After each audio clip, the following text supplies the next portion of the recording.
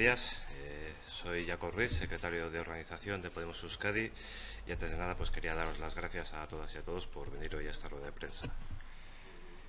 Hace poco más de tres años nos dotamos de estructuras municipales en decenas de ciudades y, y pueblos vascos. Transcurrido el periodo de mandato establecido en nuestros reglamentos, llega el momento de renovar las direcciones locales.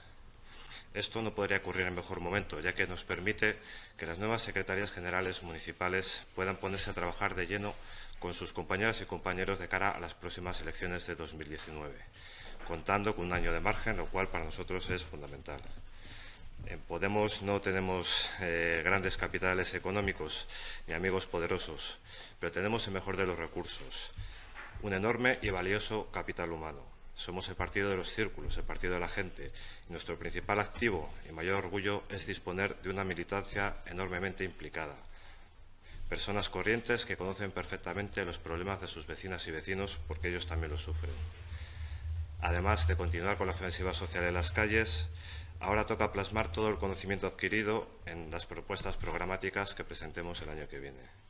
Por este motivo, el momento en que nos encontramos es muy importante. Toca elegir a las personas que se van a encargar de coordinar el ingente trabajo que hacemos en los municipios y orientarlo a las próximas elecciones. No se trata de elegir al más popular de la clase, sino a quienes mejor entiendan la enorme responsabilidad que tenemos para con nuestras vecinas y vecinos, a quienes mejor puedan ayudar a su militancia a trabajar por el cambio. Por ello, este año se introducen una serie de modificaciones respecto a anteriores procesos de elecciones municipales, estableciendo una serie de procedimientos y requisitos que poco a poco van alcanzando todos nuestros círculos. Entre ellos, pues que exista una estructura activa desde hace algún tiempo, que contemos con un volumen de militancia activa y significativa, que sea un proceso, el de elección de, secretarias y secretarias y secretarios generales, un proceso de elección plural, en el que haya siempre varias candidaturas y paritario, como todos los procesos en nuestra organización, asegurando que siempre haya candidaturas mujeres y que las candidaturas cuenten necesariamente con el aval tanto de los círculos como de las personas inscritas en cada municipio. Para poder caer, eh, para poder garantizar estos requisitos sin caer en el error de las prisas, este año habrá tres tandas diferentes en las que aquellos municipios que estén preparados puedan afrontar los procesos de renovación aunque está pendiente todavía de confirmar la apertura de urnas en los municipios de todo el Estado, en Euskadi prevemos que esta primera tanda podría llegar a 25 municipios, entre los cuales estarían las capitales vascas, a excepción de Donosti, que eh, tiene un proceso distinto, elegido secretario general y Consejo Ciudadano después, entonces su proceso no, acaba ahora. Y eh, sí pensamos que van a entrar también otras ciudades como Baracaldo, Irún y pues, eh, localidades de los tres territorios. En cualquier caso, será el día 19 de este mes cuando se publique la lista definitiva de los municipios donde se celebrarán las elecciones para secretario y secretaria general municipal.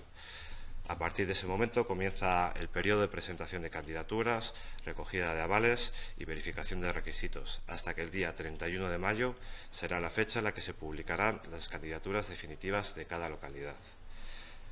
Desde este momento comenzará la fase de campaña y se producirán las, votaciones, siendo el día 21 de junio el día en el que se proclamarán los resultados definitivos.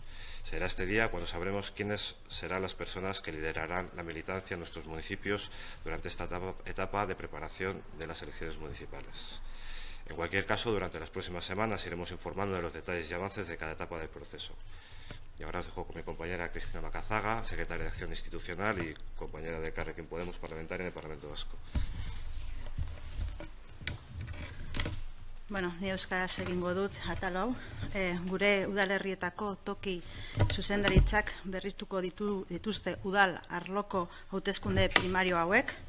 Udalerriek eta gure zirkuloek 2000 emeretziko udal eta foru hautezkundei begira egiten dugun lanerako garrantzia e, dutena garrantzia azpimarratu nahi dugu aldugu Euskadin, jakina denez, e, zirkuluen alderdi gara, zirkuloak eraikitzen duterako gure nortasuna eta gune horretatik eraikitzen dugulako toki arloan gure proiektu politikoa. Udalerriko idazkaritza horrokorren eta udalerriko herritarren zirkuloen berritzea une garrantzitsua da horren bestez. Queríamos hacer también una breve valoración política sobre los presupuestos generales del Estado. La semana pasada el Parlamento Vasco rechazó por mayoría absoluta apoyar los presupuestos generales del Estado del 0,25 para las personas pensionistas. Va siendo hora que el PNV diga a la ciudadanía vasca si los va a apoyar o no, o si, al igual que en el Parlamento Vasco, va a votar con el, con el Partido Popular. Que diga si va a sumarse a la enmienda a la totalidad que va a presentarse esta semana o vuelve a situarse contra la soberanía vasca. Eh, está a tiempo de no cometer el mismo error que cometió en el 2017 y la ciudadanía vasca quiere respuestas ya. Quiere saber si el Partido Nacionalista Vasco va a sumarse a estos presupuestos generales del Estado antisociales contra el mandato del Parlamento Vasco, a unos presupuestos que no financian el pacto contra la violencia machista ni la memoria histórica y que dejan a las personas desempleadas en una situación de abandono y que no resuelven los problemas de los vascos y vascas. Joan den astean, Eusko Legebiltzarrak eh, gehiengo osos baztertu zuen pentsiodunentzat euneko 0,8 eh, boseko igoera biltzen duten estatuko aurrekontu orokorrak babestea. Garai du EAJak Euskal Herritarrei aurrekontu hoiek babestuko dituen edo ez esateko. Edo Eusko Legebiltzarrean bezala berriz ere alderdi popularrarekin batera bozkatuko duen erakusteko. Esan dezala, Aste honetan, aurkeztuko den aurrekontuen osoko eh, zuzenketarekin bat egigo duen, edo aitzitik berriz ere Euskal Subirenatasunaren aurka jarriko den. Garaiz dago, 2000 amazazpian egin zuen akatz berean ez erortzeko. Euskal herritarrek erantzunak nahi dituzte orain. Jakin nahi dute EAJak estatuko aurrekontu orokor antisozial hauekin bat egingo duen. Eusko Legebiltzarraren aginduaren aurka, indarkeria eh, matxistaren aurkako ituna finantzatzen ez duen aurrekontu batzuen alde jarriko den, langabetuak abandonatu egoeran eta euskaldunen arazoak konpondu gabe utziz. Mila esker.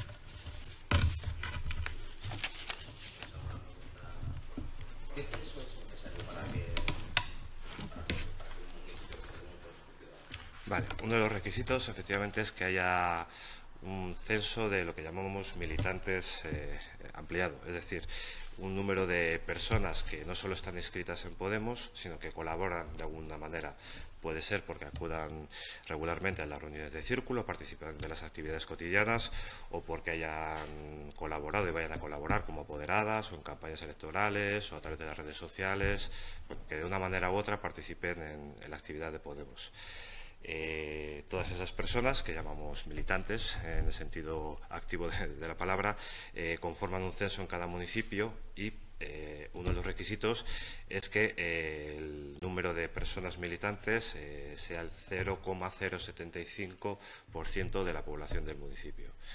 Este requisito bueno, pues es una referencia, es flexible y lo importante es que, bueno, que confirmemos que en el municipio pues contamos con las fuerzas necesarias para llegar a las próximas elecciones. ¿Y quién se encarga de eh, comprobar que colaboran? ¿Que es el Consejo Autonómico el que da validez a decir la, el censo es un censo estatal que se recoge de manera telemática en, todos los territorios y la verificación corresponde a los consejos ciudadanos autonómicos. En cualquier caso, eh, el que se abran las urnas o no en estos procesos es algo que solicitamos desde los consejos ciudadanos autonómicos y que es la organización estatal la que el día 19 pues, dará la confirmación o no en función de si se cumplen los requisitos y una serie de cuestiones. Pues ahora, a partir de ahora, con los reglamentos que tenemos tras Vista Alegre 2, eh, la mayoría de los municipios, la duración de los mandatos será de 18 meses. Se acorta un poco respecto a los mandatos anteriores, que eran de tres años, y ahora pasan eso, a, a la mitad.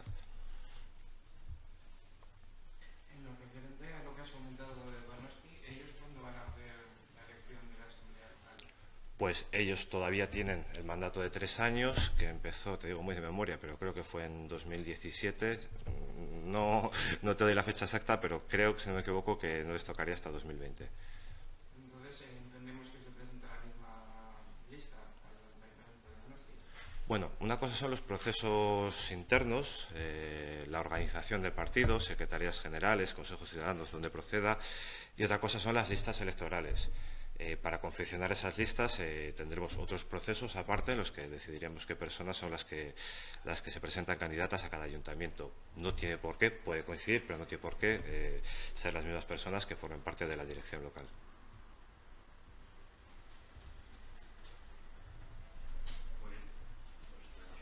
Muchas gracias. Es